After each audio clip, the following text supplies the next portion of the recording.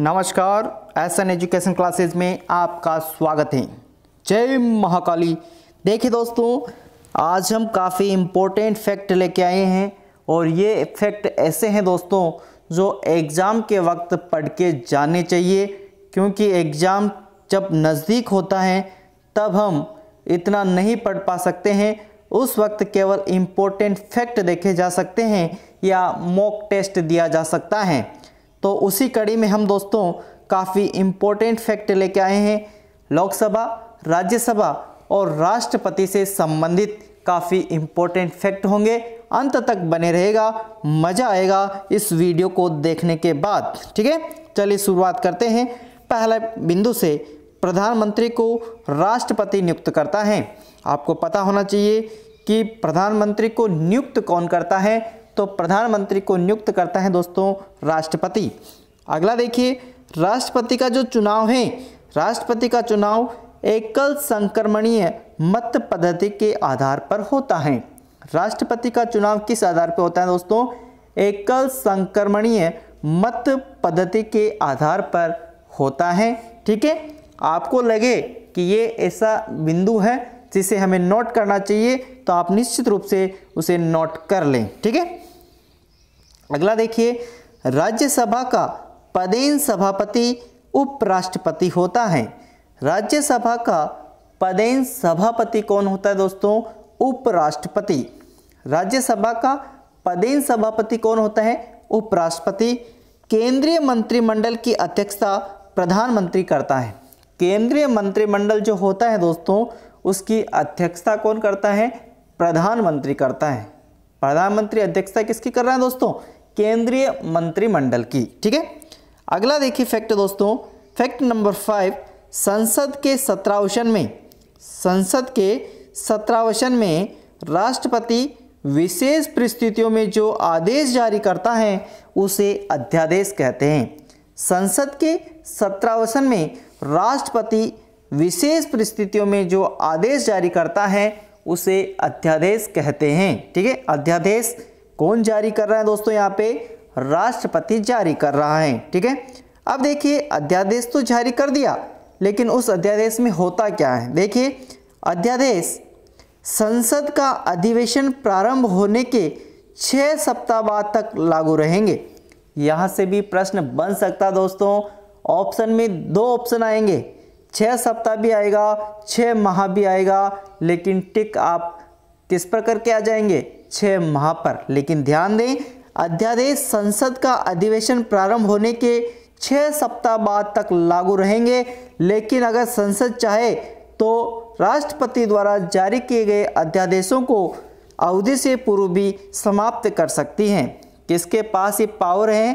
तो संसद के पास ये पावर है। ठीक है ना? तो अध्यादेश संसद का अधिवेशन प्रारंभ होने के छः सप्ताह बाद तक लागू रहेंगे, लेकिन संसद चाहे तो उसके द्वारा जारी अध्यादेशों को अवधि से पूर्व भी समाप्त कर सकती हैं।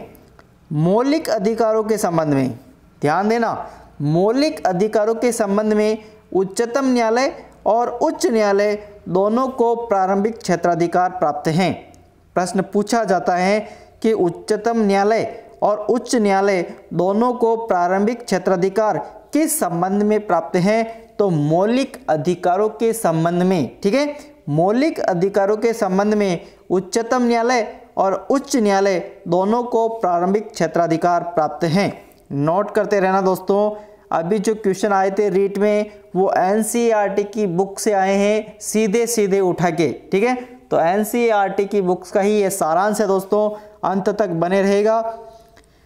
अगला देखिए इंपॉर्टेंट फैक्ट दोस्तों, कम से कम 10 वर्ष तक, कितने? कम से कम 10 वर्ष तक उच्च न्यायालय में वकालत कर चुके। भारतीय नागरिक को उच्चतम न्यायालय में न्यायाधीश नियुक्त किया जा सकता है। कम से कम 10 वर्ष तक उच्च न्यायालय में वकालत कर चुका हो, ऐसा भारतीय नागरिक जो हो, उसे क्या क्या बनाया जा सकता है? उच्चतम न्यायालय में न्यायाधीश बनाया जा सकता है। ठीक है? अगला फैक्ट देखिए दोस्तों, ये आया था आपके रीट में, जो एनसीईआरटी की बुक्स क्लास टेंथ में सीधा सीधा लिखा हुआ है, ठीक है ना? अनुच्छेद 129 सर्वोच्च न्यायालय को अभिलेख न्यायालय का स्थान प्रदान करता है। सर्वोच्च न्यायालय को अभिलेख न्यायालय का स्थान कौन प्रदान करता है? किस अनुच्छेद के तहत प्राप्त है दोस्तों? तो अनुच्छेद वन टू नाइन के तहत हैं। अभिलेख न्यायालय होता क्या है? अभिलेख न्यायालय तो आपने पढ़ लिया, अभिलेख न्यायालय। लेकिन होता क्या है? वो भी देखिए दोस्तों, अभिलेख न्यायालय के दो आशय हैं। प्रथम, इस न्यायालय के निर्णय सब जगह साक्ष्य के रूप में स्वीकार किए जाएँगे। उच्चतम न्यायालय जो हैं, उसके निर्णय सब जगह साक्ष्य के रूप में स्वीकार किए जाएँगे और इन्हें किसी भी न्यायालय में प्रस्तुत किए जाने पर उनकी प्रमाणिकता के द्वारा न्यायालय अवमानना के लिए किसी भी प्रकार का दंड दिया जा सकता है। तो इसका मतलब ये हो गया दोस्तों कि उच्चतम न्यायालय ने जो फैसला दिया, वो सब जगह मान्य होगा। ठीक है ना? तो सर्वोच्च न्यायालय को अभिलेख न्यायालय का स्थान किस अनुच्छेद के तहत प्राप्त है? तो अनुच्छेद 129 एक और देखिए दोस्तों, भारतीय संविधान के अनुच्छेद तिरसठ में उपराष्ट्रपति के पद की व्यवस्था की गई है। अनुच्छेद 63 में उपराष्ट्रपति के पद की व्यवस्था की गई है दोस्तों। अनुच्छेद 63 में उपराष्ट्रपति के पद की व्यवस्था की गई है। ठीक है? अच्छे प्रश्न है दोस्तों। अंत तक बने रहेगा। राष्ट्रपति पद के उम्मीदवार के लिए उम्मीदवार की आयु कम से कम 35 वर्ष होनी चाहिए। अगर कोई राष्ट्रपति बनना चाहता है तो कम से कम उसकी आयु 35 वर्ष होनी चाहिए। उससे पहले वो नहीं बन सकता है। ठीक है? अगला देखिए दोस्तों, भारत के राष्ट्रपति का कार्यकाल पाँच वर्ष का होता है। राष्ट्रपति का कार्यकाल कितने वर्ष का होता है दोस्तों? पाँच वर्ष का। किंतु भारतीय संविधान के अनुच्छेद 61 के अनुसार राष्ट्रपति द्वारा संविधान का उल्लंघन किए जाने पर संविधान में दी गई पद्धति के अनुसार इस पर महाभियोग लगाकर उसे पदच्युत किया जा सकता है। तो राष्ट्रपति पर महाभियोग लगाकर उसे पद से हटाया जा सकता है, ऐसा किस अनुच्छेद में कहा गया है? तो अनुच्छेद 61 में राष्ट्रपति पर महाभियोग प्रक्रिया का उल्लेख है। राष्ट्रपति पर महाभियोग लगाया जा सकता है, ऐसा किस अनुच्छेद में कहा गया दोस्तों? तो अनुच्छेद 61 में ये कहा गया है। अगला देखिए इंपॉर्टेंट फैक्ट राष्ट्रपति पर अभियोग चलाने का, राष्ट्रपति पर अभियोग लगाने का अधिकार भारतीय संसद के प्रत्येक सदन को प्राप्त है। राष्ट्रपति पर अभियोग लगाना है तो उसका अधिकार भारतीय संसद के दोनों सदनों में है और अभियोग चलाने के लिए अभियोग चलाने वाले सदन की समस्त संख्या के एक बटा चार सदस्यों के हस्ताक्षर होना आवश्यक है। अभियोग चलाना चाह रहे हैं राष्ट्रपति के खिलाफ तो अभियोग चलाने वाले सदन की, ठीक है? अभियोग चलाने वाले सदन की समस्त संख्या के एक बटा चार सदस्यों के हस्ताक्षर होने आवश्यक हैं, तभी जाकर राष्ट्रपति पर अभियोग चलाया जा सकेगा। ठीक है? अगला देखिए दोस्तों, यदि राष्ट्रपति पर अभियोग का प्रस्ताव दोनों सदनों द्वारा पृथक पृथक कुल संख्या के दो बटा तीन सदस्यों द्वारा स्वीकृत हो जाए। दोनों सदनों द्वारा अलग अलग कुल संख्या के दो बटा तीन सदस्यों द्वारा स्वीकृत हो जाए तो प्रस्ताव स्वीकृत होने की तिथि से राष्ट्रपति पदच्युत समझा जाएगा। ठीक है? ये दोनों इंपॉर्टेंट फैक्ट हैं याद रखना। एक बटा चार और दो बटा तीन क्या है? तो एक बटा चार तो है दोस्तों, अभियोग चलाने के लिए, अभियोग चलाने वाले सदन की समस्त संख्या के एक बटा चार सदस्यों के हस्ताक्षर होने आवश्यक हैं। और राष्ट्रपति को पदच्युत कब समझा जाएगा? जब अभियोग का प्रस्ताव दोनों सदनों द्वारा, दो बटा तीन सदस्यों द्वारा स्वीकृत हो जाए तो राष्ट्रपति पदच्युत समझा जाएगा प्रस्ताव स्वीकृत होने की तिथि से। ठीक है? चलिए, अगला इंपॉर्टेंट फैक्टर देखिए दोस्तों, संविधान के अनुच्छेद तीन सौ बावन ध्यान रखना, अनुच्छेद कौन सा है? 352 इसमें यह व्यवस्था की गई है कि यदि राष्ट्रपति को यकीन हो जाए कि देश पर युद्ध या बाहरी आक्रमण या आंतरिक अशांति कायम हो गई है तो राष्ट्रपति आपातकाल की घोषणा कर सकते हैं। देश पर युद्ध या बाहरी आक्रमण या आंतरिक अशांति कायम हो जाए, ऐसा राष्ट्रपति को लगता है, उनको यकीन हो जाता है तो राष्ट्रपति आपातकाल की घोषणा कर सकते हैं, ऐसा कहा गया है दोस्तों, अनुच्छेद 352 में, ठीक है? अगला इंपॉर्टेंट फैक्ट है दोस्तों, अनुच्छेद तीन सौ छप्पन अभी पढ़ा वो था तीन सौ बावन अब देख रहे हैं दोस्तों तीन सौ छप्पन के अनुसार राष्ट्रपति को राज्यपाल के प्रतिवेदन पर या किसी प्रकार से यकीन हो जाए कि ऐसी परिस्थितियाँ पैदा हो गई हैं कि राज्य का शासन संविधान के उपबंधों के अनुसार नहीं चलाया जा सकता है तो वह उस राज्य के लिए संकट काल की घोषणा कर सकता है। संसद की स्वीकृति के बिना यह घोषणा दो माह से अधिक की अवधि के लिए लागू नहीं रह सकती। ठीक है? अनुच्छेद तीन सौ छप्पन में क्या कहा गया दोस्तों कि राष्ट्रपति को राज्यपाल के प्रतिवेदन पर या किसी प्रकार से यकीन हो जाए कि ऐसी परिस्थितियाँ पैदा हो गई हैं कि राज्य का शासन नहीं चलाया जा सकता है तो वह उस राज्य के लिए संकट काल की घोषणा कर सकता है और संसद की स्वीकृति के बिना यह घोषणा दो माह से अधिक की अवधि के लिए लागू नहीं रह सकती है। ठीक है? इंपॉर्टेंट चीज़ें हैं दोस्तों। सर्वोच्च न्यायालय भारत का अंतिम अपीलीय न्यायालय है। भारत का अंतिम अपीलीय न्यायालय है दोस्तों, सर्वोच्च न्यायालय या उच्चतम न्यायालय। भारत का अंतिम अपीलीय न्यायालय कौन सा है? सर्वोच्च न्यायालय या उच्चतम न्यायालय। अगला फैक्ट देखिए दोस्तों, दीवानी। दीवानी, ठीक है? दीवानी में क्या कहा गया है? इस संबंध में मूल संविधान के अंतर्गत यह व्यवस्था थी कि उच्च न्यायालय में, उच्च न्यायालय से सर्वोच्च न्यायालय में केवल ऐसे ही दीवानी विवादों की अपील की जा सकती हैं। उच्च न्यायालय से सर्वोच्च न्यायालय में, ध्यान रखना, उच्च न्यायालय से सर्वोच्च न्यायालय में केवल ऐसे ही दीवानी विवादों की अपील की जा सकती हैं, जिसमें विवादग्रस्त राशि बीस हज़ार रुपये से अधिक हो, ठीक है? बीस हज़ार रुपये से अधिक हो, लेकिन 1973 में हुए तीसवें संविधान संशोधन द्वारा अनुच्छेद 133 को संशोधन कर उक्त धनराशि की सीमा बीस हज़ार हटाते हुए अब यह निश्चित किया गया है कि दीवानी विवादों की अपील सर्वोच्च न्यायालय में की जा सकेगी। ये इम्पोर्टेंट फैक्ट्स हैं दोस्तों। पहले क्या प्रावधान था कि उच्च न्यायालय से सर्वोच्च न्यायालय में केवल ऐसे ही दीवानी विवादों की अपील की जा सकती थी, जिसमें विवादाग्रस्त राशि बीस हज़ार रुपये से अधिक थी। ठीक है, ये पहले प्रावधान थे, लेकिन 1973 में अनुच्छेद 133 को संविधान संशोधन किया गया, और संविधान संशोधन था वो दोस्तों, तीसवां संविधान संशोधन द्वारा अनुच्छेद 133 को संशोधन किया गया, और इस धनराशि की सीमा बीस हज़ार हटाते हुए यह निश्चित किया कि दीवानी विवादों की अपील सर्वोच्च न्यायालय में की जा सकेगी। दीवानी विवादों की अपील कहाँ की जा सकेगी दोस्तों? सर्वोच्च न्यायालय में की जा सकती है। ठीक है? चलिए, अगला फैक्ट देखिए। फैक्ट नंबर 19 अच्छा फैक्ट है दोस्तों ये भी। एग्ज़ाम में देखने को मिल सकता है।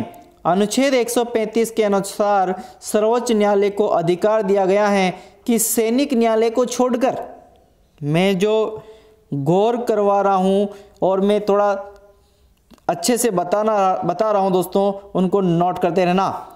अनुच्छेद 135 के अनुसार सर्वोच्च न्यायालय को अधिकार दिया गया है कि सैनिक न्यायालय को छोड़कर वह भारत के अन्य किसी न्यायालय अथवा न्यायमंडल के विरुद्ध के निर्णय निर्णय के विरुद्ध सर्वोच्च न्यायालय में अपील करने की अनुमति प्रदान कर दें। अनुच्छेद 135 के अनुसार सर्वोच्च न्यायालय को अधिकार दिया गया है किसे अधिकार दिया गया है? सर्वोच्च न्यायालय को अधिकार दिया गया है कि सैनिक न्यायालय को छोड़कर वह भारत के अन्य किसी न्यायालय अथवा न्यायमंडल के निर्णय के विरुद्ध सर्वोच्च न्यायालय में अपील करने की अनुमति प्रदान कर दें। ठीक है? नोट करते रहें दोस्तों, काफ़ी इम्पोर्टेंट चीज़ें हैं। ठीक है? और ये प्रश्न दोस्तों, ये भी एग्ज़ाम में छपा था। ये भी आपके रीट के एग्ज़ाम में छपा था। संविधान के अनुच्छेद 53 के अनुसार संघ की कार्यपालिका शक्ति राष्ट्रपति में निहित होती है। संघ की कार्यपालिका शक्ति किसमें निहित होती है दोस्तों? राष्ट्रपति में निहित होती हैं, ऐसा कहा गया है अनुच्छेद 53 में। ठीक है? किसमें कहा गया? अनुच्छेद तिरपन में ये कहा गया है। अगला फैक्ट देखिए दोस्तों, काफ़ी इम्पोर्टेंट फैक्ट हैं। राष्ट्रपति भारत के अनेक महत्वपूर्ण अधिकारियों की नियुक्ति करता है। आपको चार ऑप्शन दे देंगे कि निम्न में से किन की नियुक्ति राष्ट्रपति द्वारा की जाती हैं और किन की नहीं की जा सकती हैं, वहाँ प्रश्न बनाया जा सकता है। तो राष्ट्रपति भारत संघ के अनेक महत्वपूर्ण अधिकारियों की नियुक्ति करता है, जैसे प्रधानमंत्री की सलाह से अन्य मंत्रियों की नियुक्ति। प्रधानमंत्री की सलाह से अन्य मंत्रियों की नियुक्ति कौन करता है? राष्ट्रपति। राज्यों के राज्यपाल। राज्यपालों की नियुक्ति भी राष्ट्रपति द्वारा की जाती है। ध्यान रखें, उच्चतम न्यायालय और उच्च न्यायालय के न्यायाधीश, उच्चतम न्यायालय और उच्च न्यायालय के न्यायाधीशों की नियुक्ति भी राष्ट्रपति द्वारा की जाती है। महालेखा परीक्षक और संघीय लोक सेवा आयोग के अध्यक्ष और सदस्य तथा विदेश विदेशों में राजदूत। इनकी नियुक्ति राष्ट्रपति द्वारा की जाती है। दोस्तों, ध्यान रखें जो जो मैंने बताया कम से कम उनको तो आप याद रखेंगे। अगला फैक्ट देखिए, राष्ट्रपति संसद के अधिवेशन बुलाता है और अधिवेशन समाप्ति की घोषणा भी करता है। संसद के अधिवेशन कौन बुलाता है दोस्तों? राष्ट्रपति संसद के अधिवेशन बुलाता है और अधिवेशन समाप्ति की घोषणा भी करता है। संसद के अधिवेशन बुलाने का अधिकार राष्ट्रपति को है और अधिवेशन समाप्ति की घोषणा कौन करता है? वो भी राष्ट्रपति ही करता है। वह प्रधानमंत्री की सिफारिश पर लोकसभा को उसके निश्चित काल से पूर्व भी भंग कर सकता है। लोकसभा को समय से पूर्व भंग करना हो तो वह भंग कर सकता है। कौन? राष्ट्रपति। अगर लोकसभा को समय से पूर्व भंग करना चाहता है तो कर सकता है, लेकिन शर्त है दोस्तों प्रधानमंत्री की सिफारिश पर वो कर सकता है। तो प्रधानमंत्री की सिफारिश पर लोकसभा को उसके निश्चित काल से पूर्व भी भंग किया जा सकता है और ये भंग किसके द्वारा किया जाएगा दोस्तों? राष्ट्रपति के द्वारा किया जाएगा। अगला फैक्ट देखिए। संसद भवन देखा होगा। संसद भवन को ब्रिटिश वास्तुकार एडविन लुटियंस एडविन लुटियंस और बर्बर, हर्बर्ट बेकर द्वारा डिज़ाइन किया गया। संसद भवन को वास्तुकार एडविन लुटियंस और हर्बर्ट बेकर द्वारा डिज़ाइन किया गया था। इस प्रतिष्ठित इमारत का उद्घाटन 1927 में भारत के तत्कालीन गवर्नर जनरल लॉर्ड इरविन ने किया था। ठीक है, यहाँ से भी प्रश्न बन सकता है, नोट कर लेना। अगला फैक्ट देखिए दोस्तों। राष्ट्रपति को राज्यसभा में 12 सदस्यों को मनोनीत करने का अधिकार है। कितने सदस्यों को मनोनीत करने का अधिकार है? 12 सदस्यों को मनोनीत करने का अधिकार है, जिनके द्वारा साहित्य, विज्ञान, कला तथा अन्य किसी क्षेत्र में विशेष सेवा की गई है और वह लोकसभा में दो आंग्ल भारतीय सदस्यों को मनोनीत कर सकता है, ये सबको आता होगा। अगला देखिए, राष्ट्रपति की आज्ञा के बिना धन विधेयक और अनुदान मांगे लोकसभा में प्रस्तावित नहीं की जा सकती हैं। धन विधेयक और अनुदान मांगे, धन विधेयक और अनुदान मांगे लोकसभा में प्रस्तावित नहीं की जा सकती हैं। राष्ट्रपति की आज्ञा के बिना राष्ट्रपति आज्ञा देगा, तभी धन विधेयक लोकसभा में प्रस्तावित किया जा सकता है, राष्ट्रपति की आज्ञा पर ही। ठीक है? अगला देखिए, राष्ट्रपति को न्यायिक शक्ति के अंतर्गत दंड प्राप्त व्यक्तियों को क्षमा प्राप्त प्रदान करने और दंड को कुछ समय के लिए स्थगित करने का अधिकार भी प्राप्त है। अगर किसी व्यक्ति को सज़ा मिल गई तो उस सज़ा को माफ़ करना या उस सज़ा को कुछ समय के लिए स्थगित करने का अधिकार राष्ट्रपति के पास है। अगला प्रश्न अच्छा प्रश्न है दोस्तों, बहुत ही शानदार प्रश्न है। देखिए, अनुच्छेद 360 अनुच्छेदों को भी ध्यान रखें। अनुच्छेद 360 के अनुसार जब राष्ट्रपति को ये विश्वास हो जाए कि ऐसी परिस्थितियाँ उत्पन्न हो गई हैं, जिनसे भारत के वित्तीय स्वामित्व की स्वामित्व की साख को खतरा है तो वह वित्तीय संकट की घोषणा कर सकता है। वित्तीय संकट की घोषणा कर सकता है अनुच्छेद 360 के अनुसार। अनुच्छेद 360 के अनुसार वित्तीय संकट की घोषणा कौन कर सकता है दोस्तों? राष्ट्रपति कर सकता है। ऐसी घोषणा के लिए भी वह वही अवधि निर्धारित है जो प्रथम प्रकार की घोषणा के लिए हैं। ठीक है? तो अनुच्छेद 360 याद रखेंगे, वित्तीय संकट की घोषणा इसमें राष्ट्रपति कर सकता है। अगला इफ़ेक्ट देखिए, भारतीय संविधान के अनुच्छेद 75 अनुच्छेद ध्यान रखें, अनुच्छेद 75 के अनुसार प्रधानमंत्री की नियुक्ति राष्ट्रपति द्वारा होगी। प्रधानमंत्री की नियुक्ति राष्ट्रपति के द्वारा होगी और अन्य मंत्रियों की नियुक्ति राष्ट्रपति द्वारा प्रधानमंत्री के परामर्श से की जाएगी। प्रधानमंत्री की नियुक्ति कौन करेगा दोस्तों? राष्ट्रपति करेगा और अन्य मंत्री जो हैं, उनकी नियुक्ति भी राष्ट्रपति करेगा, लेकिन प्रधानमंत्री के परामर्श से करेगा। ठीक है? ये किसमें कहा गया है? अनुच्छेद 75 में कहा गया है। अनुच्छेद 74 और देख लीजिए, मूल संविधान के अनुच्छेद 74 में यह कहा गया है कि राष्ट्रपति को उसके कार्यों के संपादन में सहायता और परामर्श देने के लिए मंत्री परिषद होगी, जिसका प्रधान प्रधानमंत्री होगा। अनुच्छेद 74 में यह कहा गया है कि राष्ट्रपति को उसके कार्यों में के संपादन में सहायता करने और परामर्श देने के लिए एक मंत्री परिषद होगी, जिसका प्रधान कौन होगा? प्रधानमंत्री होगा। ठीक है? अनुच्छेद याद रखेंगे। इंपॉर्टेंट फैक्ट है दोस्तों, अच्छे से देखते रहेंगे अनुच्छेद 74 में कहा गया है कि मंत्रिपरिषद राष्ट्रपति को उसके कार्यों के संपादन में सहायता और परामर्श करेगी, यह भी बताया है। अगला देखिए, सर्वोच्च न्यायालय के न्यायाधीशों की नियुक्ति भारत का राष्ट्रपति करता है। ऊपर आ चुका है दोस्तों। सर्वोच्च न्यायालय के जो भी न्यायाधीश हैं, उनकी नियुक्ति कौन करता है? भारत का राष्ट्रपति करता है और भारत के मुख्य न्यायाधीश के संबंध में राष्ट्रपति, सर्वोच्च न्यायालय अथवा उच्च न्यायालय के अन्य न्यायाधीशों से परामर्श ले सकता है। मुख्य न्यायाधीश के संबंध में, ठीक है?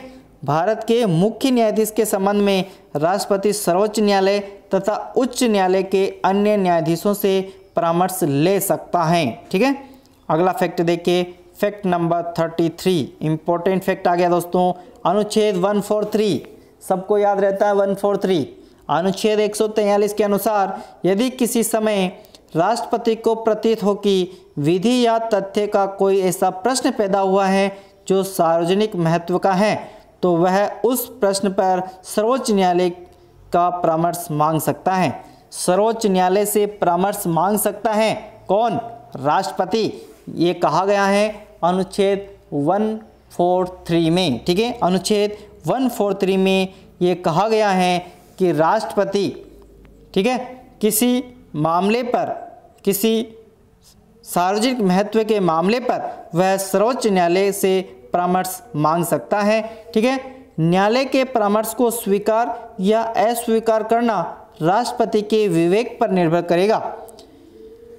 परामर्श तो मांग लिया, किससे? सर्वोच्च न्यायालय से परामर्श तो मांग लिया, लेकिन परामर्श को स्वीकार करना, अस्वीकार करना राष्ट्रपति के ऊपर निर्भर करेगा।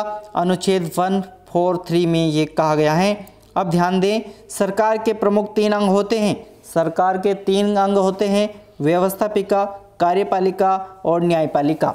सरकार के तीन अंग होते हैं, व्यवस्थापिका कार्यपालिका और न्यायपालिका। भारत का संवैधानिक प्रधान राष्ट्रपति होता है। भारत का संवैधानिक प्रधान कौन होता है? राष्ट्रपति होता है और भारत का वास्तविक प्रधान पूछे तो वास्तविक प्रधान प्रधानमंत्री होता है। भारत का वास्तविक प्रधान तो कौन होता है? प्रधानमंत्री। लेकिन संवैधानिक प्रधान की बात करें, वो होता है राष्ट्रपति। भारत का संवैधानिक प्रधान कौन होगा? राष्ट्रपति। और भारत का वास्तविक प्रधान कौन होता है? प्रधानमंत्री। ठीक है? भारत का सर्वोच्च न्यायालय कहाँ है? सबको पता होना चाहिए। भारत का सर्वोच्च न्यायालय दिल्ली में स्थित है। और संसद किस किस से मिलकर बनी होती है? तो संसद राष्ट्रपति, लोकसभा और राज्यसभा से मिलकर बनता है। ठीक है? संसद का निर्माण किस किस से होता है? संसद का निर्माण राष्ट्रपति, लोकसभा और राज्यसभा से मिलकर होता है। एक और फैक्ट है दोस्तों, लोकसभा की दो बैठकों में, लोकसभा की दो बैठकों में छः माह से अधिक का समय अंतर नहीं होना चाहिए। लोकसभा की दो बैठकों में छः माह से अधिक का अंतर नहीं होना चाहिए दोस्तों, ध्यान दें। संविधान में संशोधन के लिए दोनों सदनों के दो तिहाई बहुमत की आवश्यकता होती है। अगर संविधान में संशोधन करना है तो दोनों सदनों के दो तिहाई बहुमत की आवश्यकता होगी। ठीक है? अगला देखिए, वर्तमान में लोकसभा में 545 सदस्य और राज्यसभा में 245 सदस्य हैं। वर्तमान में लोकसभा में 545 सदस्य हैं और राज्यसभा में 245 सदस्य हैं। अगला फैक्ट है दोस्तों, ध्यान देना अच्छा फैक्ट है, लोकसभा के अध्यक्ष और उपाध्यक्ष को हटाने के लिए प्रस्ताव पेश करने के लिए कम से कम चौदह दिन पहले सूचना दी जाती है। लोकसभा के अध्यक्ष और उपाध्यक्ष को आपको हटाना है तो उसका प्रस्ताव पेश करने के लिए कम से कम चौदह दिन पहले सूचना देनी होगी। कम से कम चौदह दिन पहले सूचना देनी होगी, तभी लोकसभा के अध्यक्ष और उपाध्यक्ष को हटाने के लिए प्रस्ताव पेश किया जा सकेगा। अगला फैक्ट देखिए दोस्तों, फैक्ट नंबर 43 लोकसभा सदस्य के लिए उसकी आयु 25 वर्ष या इससे अधिक हो। लोकसभा सदस्य बनना है तो आपकी आयु 25 वर्ष या इससे अधिक होना ज़रूरी है। लोकसभा अध्यक्ष के द्वारा लोकसभा की सभी बैठकों की अध्यक्षता की जाती है। लोकसभा की जितनी भी बैठकें होती हैं, उसकी अध्यक्षता कौन करता है? लोकसभा अध्यक्ष करता है। तो लोकसभा की सभी बैठकों की अध्यक्षता लोकसभा अध्यक्ष के द्वारा की जाती है। चलिए अगला फैक्ट देखिए। लोकसभा अध्यक्ष ये निर्णय करता है कि कोई विधेयक धन विधेयक है या नहीं? कोई विधेयक धन विधेयक है या नहीं?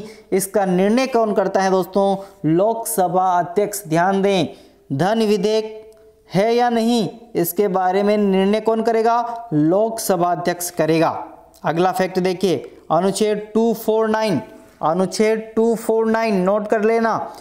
राज्यसभा उपस्थित और मतदान में भाग लेने वाले सदस्यों के दो तिहाई बहुमत से राज्य सूची के किसी विषय को राष्ट्रीय महत्व का विषय घोषित कर सकती हैं। अनुच्छेद 249 में कहा गया है कि राज्यसभा उपस्थित और मतदान में भाग लेने वाले सदस्यों के दो तिहाई बहुमत से राज्य सूची के किसी भी विषय को राष्ट्रीय महत्व का विषय घोषित कर सकती हैं। राज्य सूची के किसी भी विषय को राष्ट्रीय महत्व का विषय घोषित करने का अधिकार राज्यसभा को है और ये अनुच्छेद 249 के अंतर्गत हैं। एक और अच्छा फैक्ट है दोस्तों, नोट कर लेना अनुच्छेद 312 कौन सा? अनुच्छेद 312 के अनुसार राज्यसभा ही अपने दो तिहाई बहुमत से प्रस्ताव पास कर नई अखिल भारतीय सेवाएँ स्थापित करने का अधिकार केंद्र सरकार को दे सकती हैं। नई अखिल भारतीय सेवाएँ स्थापित करने का अधिकार केंद्र सरकार को दे सकती हैं कौन? राज्यसभा। और ये कहा गया है दोस्तों, अनुच्छेद 312 312 में ये चीज़ें कही गई हैं नई अखिल भारतीय सेवाएँ स्थापित करने के बारे में। ठीक है? याद रखेंगे दोस्तों, अच्छे फैक्ट बता रहे हैं। अगला फैक्ट देखिए, राज्यसभा की सदस्यता के लिए तीस वर्ष या अधिक की आयु होनी चाहिए और लोकसभा की सदस्यता के लिए पचास, पच्चीस वर्ष की आयु होनी चाहिए। लोकसभा का सदस्य बनना है तो कितने वर्ष की आयु होनी चाहिए दोस्तों? 25 वर्ष, और राज्यसभा की सदस्यता के लिए 30 वर्ष या इससे अधिक की आयु होनी चाहिए, ठीक है? लोकसभा के लिए 25 वर्ष, और राज्यसभा के लिए 30 वर्ष। अगला देखिए। राज्यसभा एक स्थायी सदन है। राज्यसभा एक स्थायी सदन है जो कभी भंग नहीं होता। राज्यसभा एक स्थायी सदन है और ये कभी भंग नहीं होता। इसके सदस्यों का कार्यकाल छः वर्ष होता है। राज्यसभा का कार्यकाल पूछ ले। तो दोस्तों, वहाँ पर लिखेंगे, राज्यसभा का कोई कार्यकाल नहीं होता है, क्योंकि राज्यसभा एक सताई सदन है। स्थायी सदन होने के नाते इसे भंग नहीं किया जा सकता। इसलिए राज्यसभा के सदस्यों का कार्यकाल ज़रूर होता है। राज्यसभा के सदस्यों का कार्यकाल छः वर्ष होता है। किनका? राज्यसभा के सदस्यों का कार्यकाल छः वर्ष होता है और राज्यसभा के एक तिहाई सदस्य प्रति दो वर्ष बाद सेवानिवृत्त हो जाते हैं। राज्यसभा के एक तिहाई सदस्य प्रति दो वर्ष बाद सेवानिवृत्त हो जाते हैं। फैक्ट नंबर 50 देखिए, संसद का सबसे प्रमुख कार्य राष्ट्रीय हितों की दृष्टि में रखते हुए कानून का निर्माण करना है। संसद का मुख्य कार्य यही है दोस्तों राष्ट्रीय हित को ध्यान में रखते हुए कानून का निर्माण करना संसद का प्रमुख कार्य है। फैक्ट नंबर 51 फैक्ट नंबर 51 देखिए, संविधान के अनुसार संविधान में संशोधन का प्रस्ताव संसद में ही प्रस्तावित किया जा सकता है, किसी राज्य के विधानमंडल में नहीं। ठीक है? ध्यान दे दोस्तों, संसद में ही क्या होगा? संविधान संशोधन की प्रक्रिया स्टार्ट होगी। ठीक है? राज्य के विधानमंडल में ये प्रक्रिया स्टार्ट नहीं हो सकती है। संविधान में संशोधन करना है तो ये कहाँ से होगा? राज्य के विधानमंडल से नहीं होगा, ठीक है? संसद में ही प्रस्तावित किया जा सकता है। तो संविधान के अनुसार संविधान में संशोधन का प्रस्ताव संसद में ही प्रस्तावित किया जा सकता है। किसी राज्य के विधानमंडल में नहीं किया जा सकता है। अच्छा फैक्ट है दोस्तों, नोट कर लीजिए अनुच्छेद 66 66 अनुच्छेद कहता है, दोस्तों, संसद के दोनों सदनों के सदस्य उपराष्ट्रपति का निर्वाचन करते हैं। संसद के दोनों सदनों के सदस्य उपराष्ट्रपति का निर्वाचन करते हैं। नोट कर लेना, अनुच्छेद 66 अनुच्छेद 109 भी अच्छा प्रश्न है। अनुच्छेद 109 के अनुसार धन विधेयक लोकसभा में ही प्रस्तावित किया जा सकता है, राज्यसभा में नहीं। आपसे पूछा जा सकता है कि धन विधेयक कहाँ पर प्रस्तावित किया जा सकता है तो धन विधेयक केवल और केवल लोकसभा में ही प्रस्तावित किया जा सकता है, राज्यसभा में नहीं, ये कहा गया है अनुच्छेद 109 के अंतर्गत।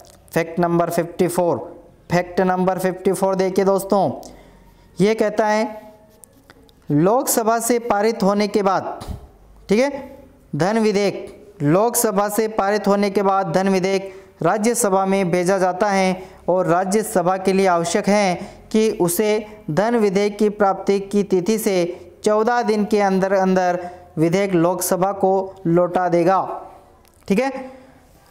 धन विधेयक कहाँ पर प्रस्तावित किया जा सकता है? लोकसभा में ही। ठीक है? अब लोकसभा से वो धन विधेयक प्रस्तावित हो गया, पारित हो गया।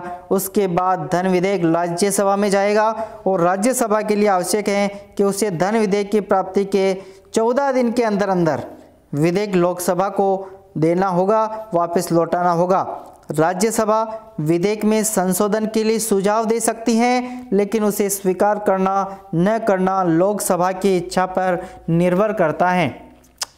राज्यसभा उस धन विधेयक में संशोधन के लिए सुझाव दे सकती है, बट उसे स्वीकार करना, न करना लोकसभा के हाथ में है। उसकी मर्ज़ी होगी जो करेगी, राज्यसभा की बात माने ना माने लोकसभा के ऊपर निर्भर करेगा। भारतीय संविधान के द्वारा संसदा, संसदात्मक व्यवस्था की स्थापना की गई। है भारतीय संविधान के द्वारा संसदात्मक व्यवस्था की स्थापना की गई है, ये भी अभी रीट में पूछा गया प्रश्न था दोस्तों इम्पोर्टेंट फैक्ट है।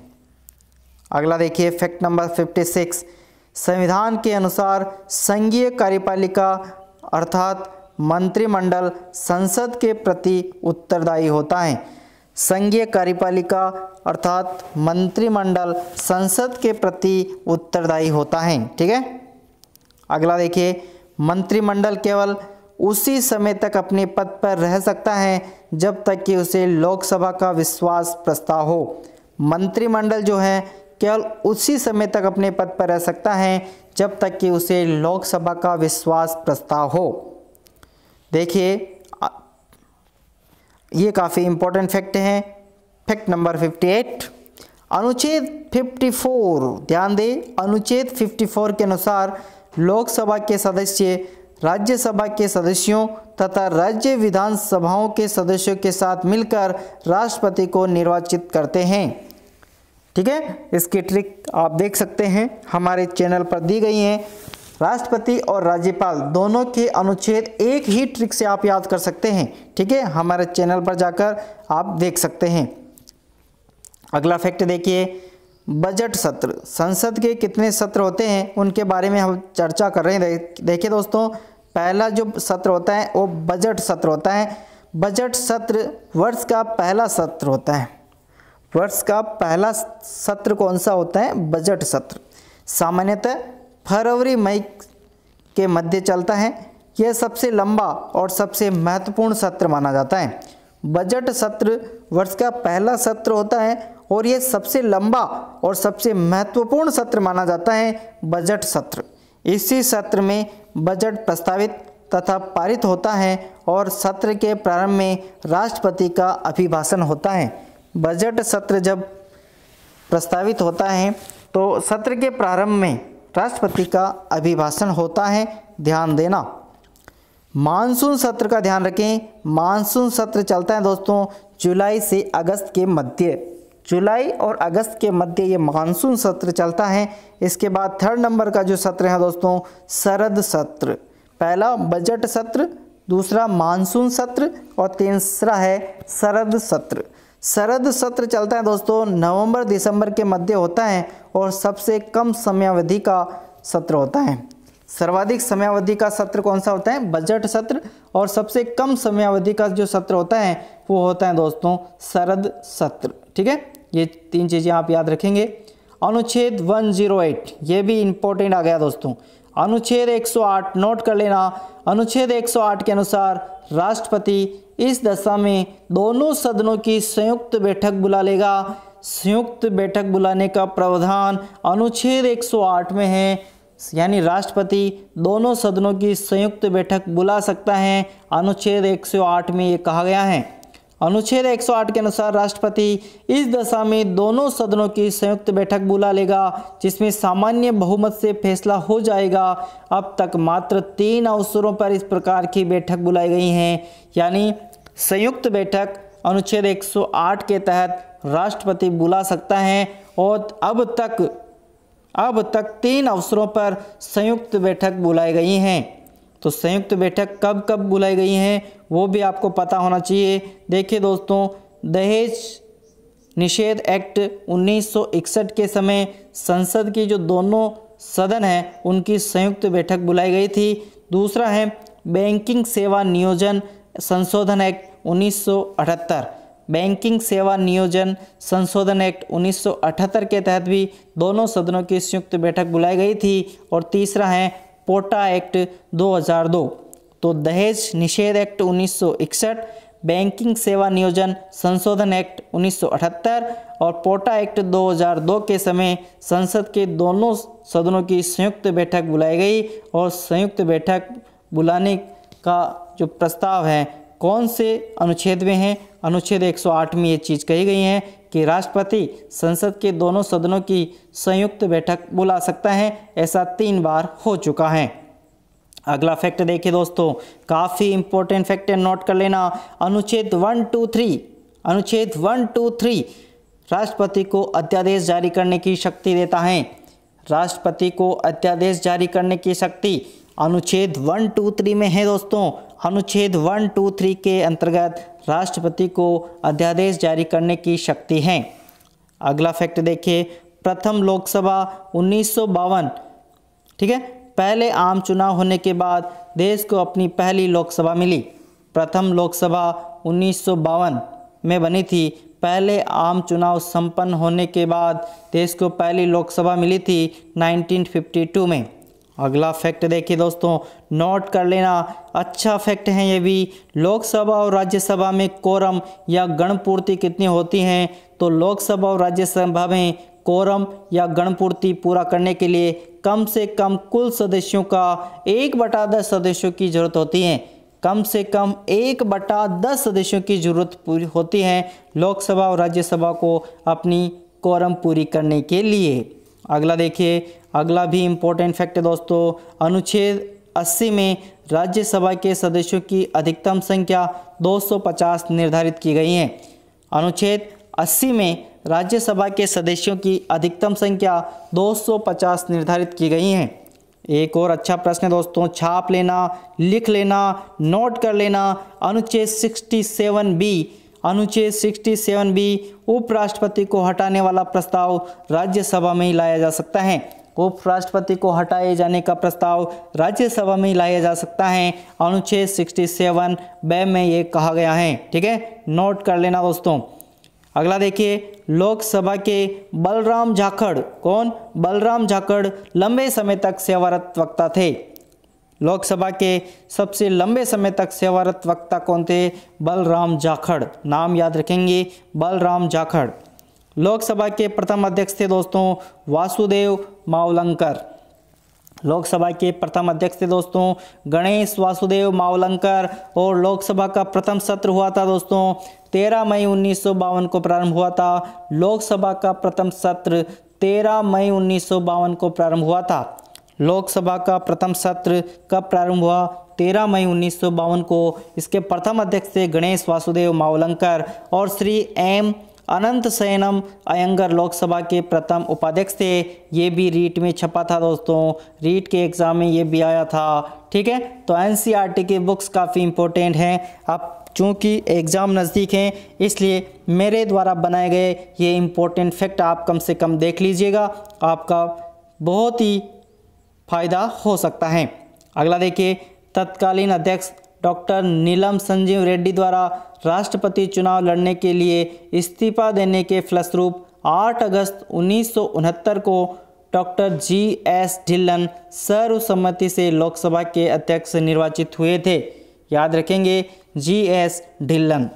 एक दिन की तारांकित प्रश्न सूची में प्रश्नों की कुल संख्या 20 होती है। एक दिन की तारांकित प्रश्न सूची में प्रश्नों की संख्या 20 होती हैं, याद रखेंगे। संविधान के अनुच्छेद 110 के अंतर्गत धन विधेयक हैं। धन विधेयक का उल्लेख इसमें है? संविधान के अनुच्छेद 110 में। अगला फैक्ट देखिए, लोकसभा में सामान्यतः बजट, सामान्य जो बजट होता है, वो वित्त मंत्री द्वारा प्रस्तुत किया जाता है। लोकसभा में अगर सामान्य बजट है तो वो वित्त मंत्री द्वारा प्रस्तुत किया जाएगा और अगर रेल बजट है तो वो रेल मंत्री द्वारा प्रस्तुत किया जाएगा। ध्यान दें, ठीक है? रेल बजट रेल मंत्री द्वारा प्रस्तुत किया जाता है और सामान्य बजट जो होता है वो वित्त मंत्री द्वारा प्रस्तुत किया जाता है। पहली बार पद संभालने वाले राज्यसभा के उपाध्यक्ष कौन थे? पहली बार पद संभालने वाले राज्यसभा के उपाध्यक्ष थे दोस्तों S V Krishnamurthy Rao. S V Krishnamurthy Rao Rajya Sabha के उपाध्यक्ष थे प्रथम, ठीक है? राज्यसभा के प्रथम उपाध्यक्ष थे एस वी कृष्णमूर्ति राव। लोकसभा, राजस्थान में लोकसभा की 25 सीटें हैं और राज्यसभा की 10 सीटें हैं। प्रश्न पूछा जाता है कि राजस्थान में लोकसभा की कितने सीटें हैं? तो 25 हैं और राज्यसभा की कितने सीटें हैं दोस्तों? तो 10 हैं। और एक और प्रश्न बनाना चाहे, एग्जामिनर तो बनाता है कि राजस्थान से कितने सांसद चुनकर जाते हैं? तो राजस्थान से 25 और 10 कितना हो गया? 35 सांसद चुन के जाते हैं। 25 सांसद लोकसभा से और 10 सांसद राज्यसभा से। टोटल हो गए 35 सदस्य, यानी राजस्थान से 35 सांसद चुनकर जाते हैं। लोकसभा की सर्वाधिक सीटें उत्तर प्रदेश में हैं 80 और उसके बाद नंबर आता है महाराष्ट्र का, वहाँ पर है 48 ठीक है? लोकसभा की सर्वाधिक सीटें उत्तर प्रदेश में हैं 80 और महाराष्ट्र में 48 हैं। लोकसभा में अनुसूचित जाति के लिए 84 और अनुसूचित जनजाति के लिए 47 सीटें आरक्षित हैं। अनुसूचित जाति के लिए 84 और अनुसूचित जनजाति के लिए 47 सीटें लोकसभा में आरक्षित हैं। ध्यान रखना। अंतिम क्षणों की ओर चल रहे हैं दोस्तों। ध्यान दें पांचवी लोकसभा का कार्यकाल छः वर्ष के लिए बढ़ाया गया था। पांचवी लोकसभा का कार्यकाल छः वर्ष के लिए बढ़ाया गया था और भारत में वर्ष 1921 में अध्यक्ष और उपाध्यक्ष पद का सृजन भारत सरकार अधिनियम 1919 मॉन्टेग्यू चम्पस्पोर्ट सुधार के प्रावधानों के अंतर्गत किया गया था। वर्ष 1921 में अध्यक्ष और उपाध्यक्ष पद का सृजन भारत सरकार अधिनियम 1919 जिसे मॉन्टेग्यू चम्पस्पोर्ट सुधार कहा जाता है कि उसके प्रावधानों के अंतर्गत किया गया था और राज्यसभा में सर्वाधिक सीटें उत्तर प्रदेश में हैं। राज्यसभा की सर्वाधिक सीटें उत्तर प्रदेश में हैं, थर्टी वन हैं और महाराष्ट्र, उसके बाद आता है उन्नीस हैं, ठीक है?